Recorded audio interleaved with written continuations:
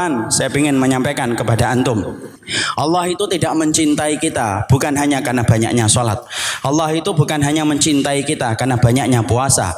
Allah itu bukan mencintai kita bukan hanya karena kita berak banyak dan sering melakukan umrah dan melaksanakan haji. Tetapi pastikan ikhwan, sesungguhnya Allah pun mencintai kita ketika kita banyak melakukan dosa berubah kita dan merespon perubahan, kita bertobat, kita berhijrah, kita tinggalkan lembaran kelam dan hitam yang telah kita lakukan ketika dulu melakukan kemaksiatan, berubah di hadapan Allah, maka sesungguhnya itulah tanda cintanya Allah itu datang bersama mereka yang senantiasa menyesali setiap dosa dan kemaksiatan yang dia lakukan, lalu dia berubah ketika dia mengetok pintu hijrah karena Allah itu mencintai kita ketika bertobat dan melakukan hijrah kepadanya.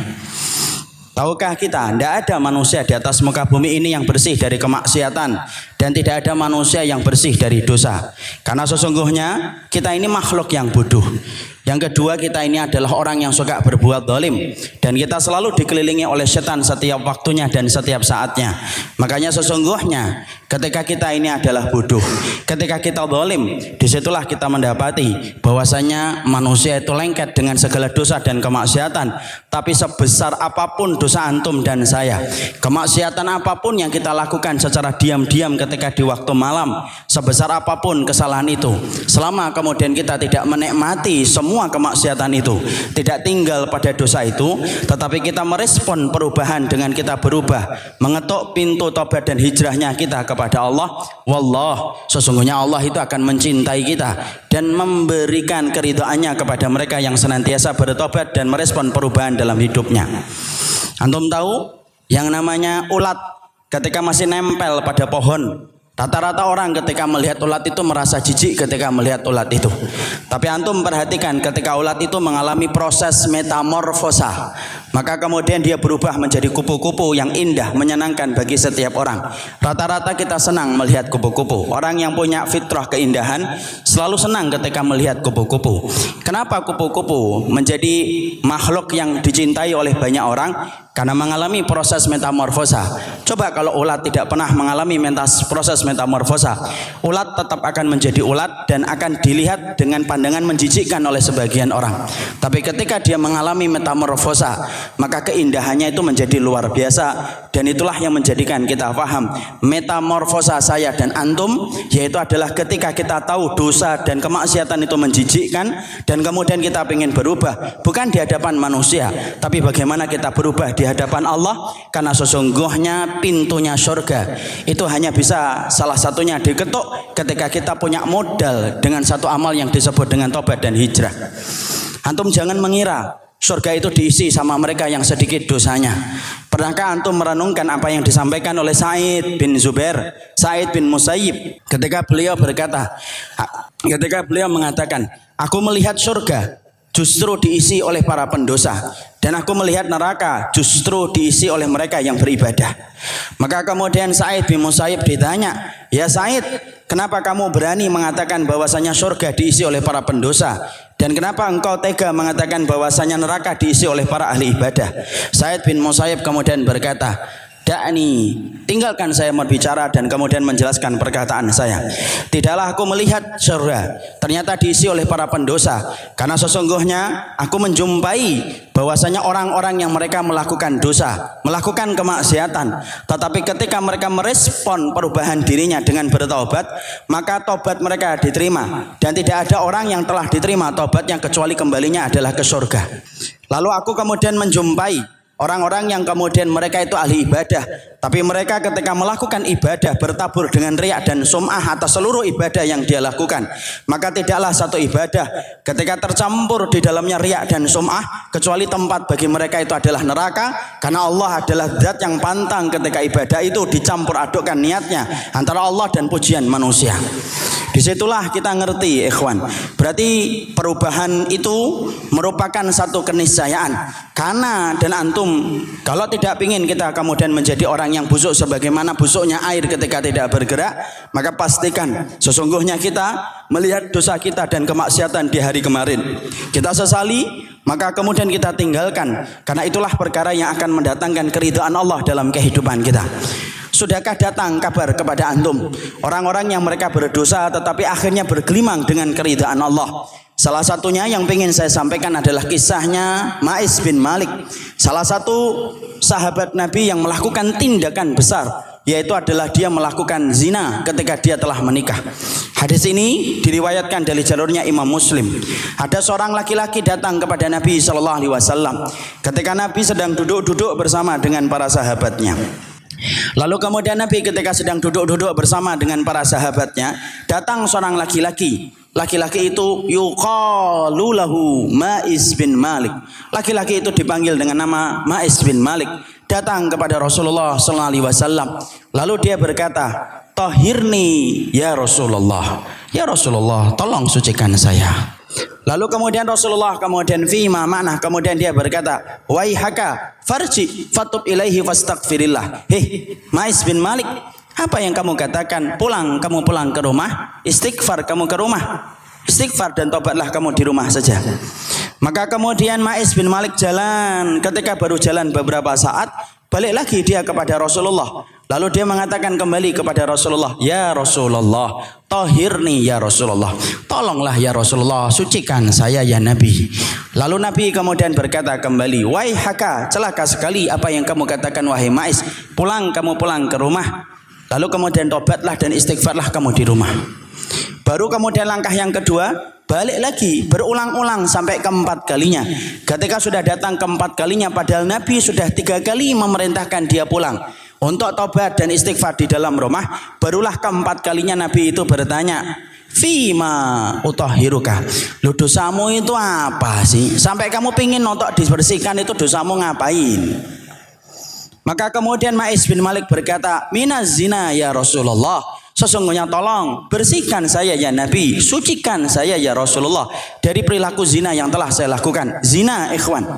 Antum tahu Zina itu merupakan perbuatan meneteskan air yang paling najis di atas muka bumi. Tidak ada rahimnya wanita yang paling najis kecuali adalah rahimnya seorang wanita yang pernah tertetesi dengan air sebelum terjadinya ijab kabul.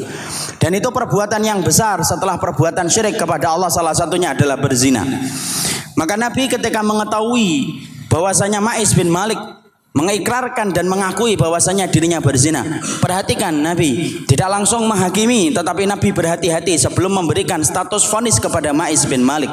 Kemudian Rasulullah mencarikan udur untuk Ma'is bin Malik. Itulah semangatnya Nabi. Nyarikan udur untuk saudaranya ketika jatuh dalam kesalahan. Nabi kemudian berkata, "Ayashrabul khamra?" Apakah Ma'is bin Malik ini kemudian mabuk, kemudian membuat pengakuan palsu ketika dia sampai mengatakan dirinya berzina? Lalu kemudian faqama rajulun minas sahabah fastangkahu walam yajid minhu riha khamrin.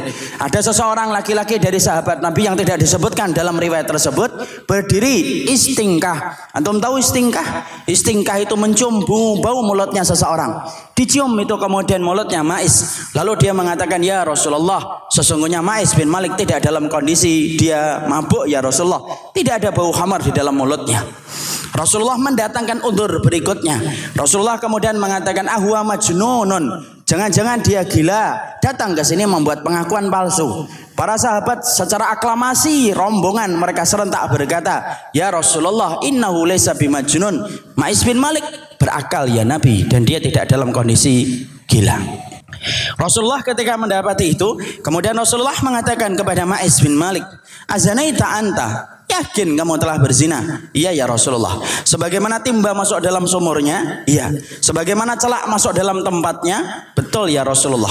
Maka ketika Nabi Shallallahu Alaihi Wasallam betul-betul mendapati Ma'is bin Malik berzina, sudah mengakui semua udur sudah diberikan Nabi dan ternyata udur itu kemudian tidak terbukti, maka barulah kemudian Nabi berkata kepada para sahabat, rajamlah dia dirajam. Antum tahu bagaimana hukuman rajam bagi pelaku zina untuk menggambarkan betapa beratnya zina di hadapan Allah dan betapa beratnya untuk menyucikannya. Maka kemudian digalilah lubang. Lalu kemudian dimasukkanlah kemudian Ma'is bin Malik di dalam lubang tersebut. Kemudian ditutup dengan tanah, disisakan kepalanya saja. Dipersiapkan batu untuk dipakai meraja Ma'is bin Malik yang telah mengakui dirinya bahwasanya dia itu telah berzina. Maka batu yang dipakai untuk merajam bukan batu yang gede yang sekali dijatuhkan ke kepala langsung pecah, tapi batunya batu yang sedang. Kenapa batu yang dipakai untuk merajam bukan batu yang besar yang sekali dijatuhkan langsung mati orang yang dirajam? Supaya orang yang dirajam itu ketika dia dirajam dengan batu yang sedang maka dia tidak langsung mati. Tapi dia merasakan sakit dari ujung rambut sampai ujung jempol kakinya sebagaimana kenikmatan berzina dirasakan dari ujung rambut sampai ujung jempol kakinya. Dilempari batu dilempari batu. Singkat ceritanya Ma'is bin Malik akhirnya meninggal dunia. Antum tahu ketika Ma'is bin Malik meninggal dunia diambil kemudian disemayamkan. Para sahabat kemudian berbeda pendapat. Dikatakan oleh Abu Hurairah fakhtalafan nasu fi ini. Sesungguhnya para sahabat setelah meninggalnya Ma'is bin Malik kemudian terbagi menjadi dua. Sebagian sahabat membela kehormatan Ma'is bin Malik dan berkata husnul khatimah Ma'is bin Malik itu. Sebagian para sahabat mengatakan la Sesungguhnya Ma'is bin Malik bukan dalam kondisi khusnul khatimah, tetapi Ma'is bin Malik dalam kondisi su'ul khatimah, zina dan belum menggantinya dengan kebaikan untuk menutupi dosa-dosa yang telah dilakukan ketika berzina. Maka kemudian fala bisa dalika ila yaumaini aw salasata ayyam. Perbedaan para sahabat tentang status kematiannya Ma'is bin Malik itu bertahan dua atau tiga hari. Abu Hurairah agak lupa Berapa jumlah hari ketika para sahabat mereka berbeda pendapat. Maka kemudian pada dua dan tiga hari, para sahabat itu di pinggir emperan-emperan masjid Nabawi. Sembari ngobrol ketika mereka pulang dari masjid. Mereka selalu berseteru dengan mengatakan, sebagian mengatakan husnul khatimah dan sebagian mengatakan su'ul khatimah. Maka kemudian Rasulullah mendiamkan. Kenapa Nabi tidak menjawab langsung apakah Ma'is bin Malik ini khusnul khatimah ataupun su'ul khatimah karena sesungguhnya Nabi saat itu belum turun berita dari Allah menggambarkan bagaimana kedudukan Ma'is setelah meninggal dunia. Barulah kemudian dua ataupun tiga hari Rasulullah ketika mendengar para sahabat kemudian masih berseteru tentang kematiannya Ma'is bin Malik, Nabi kemudian berkata, "Usmutu, sudah diam." Istaghfiru li akhikum. Beristighfarlah kalian kepada saudara kalian yaitu adalah Ma'is bin Malik karena sesungguhnya tobatnya Ma'is bin Malik baru saja diterima oleh Allah.